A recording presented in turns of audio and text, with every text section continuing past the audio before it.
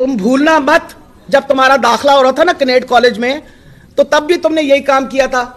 अब्बा जी, मेरा दाखला करा दो तो अब्बा जी ने जब कहा कि जी, उन्होंने कहा, जी, नंबर कम है। तो उन्होंने कहा, जी, प्रिंसिपल को हटा दो। मतलब यही काम कर सकते थे ना। उन्होंने प्रिंसिपल को हटा दिया।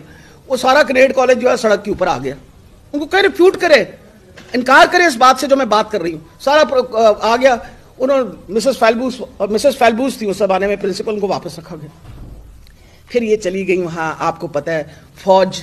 ये कहते हैं ना, हम एस्टैब्लिशमेंट के खिलाफ है। वो चले गए सीएमएच के अंदर एक खास तौर पे जो मिलिट्री मेडिकल कॉलेज था, उसके अंदर एक सीट बनाई गई इनके लिए। ये वहाँ जाके दाखिल हो गई, क्योंकि नंबर कम थे।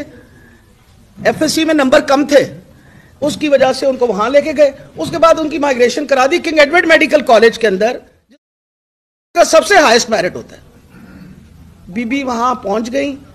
मैं तो उस ज़माने में पढ़ाती थी वहाँ, क्लासें अटेंड नहीं करती थी। दाखिला जाने से इनकार कर दिया। उन्होंने कहा, दाखिला नहीं भेजना, क्योंकि इनकी अटेंडेंस पूरी नहीं है।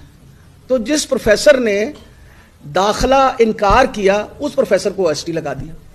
तो वो तो बेचारी पहले दिन से उसको पता है कि मैं अब्बा जी को कहूँगी तो मेरे अब्बा जी ने ये भी कर देना और ये भी कर देना है। बीबी, ऐसा काम नहीं होगा।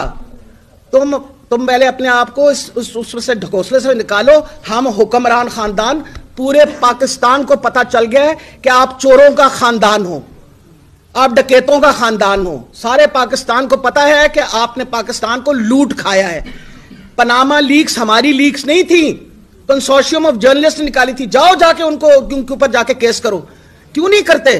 क्योंकि सारी दुनिया में तुम लोग बदनाम हो और सारी दुनिया की बदनामी हमें कि जी हमारा लीडर ये जो आ, पाकिस्तान का जो आ, आ, वो प्राइम मिनिस्टर है वो सबसे बड़ा चोर है।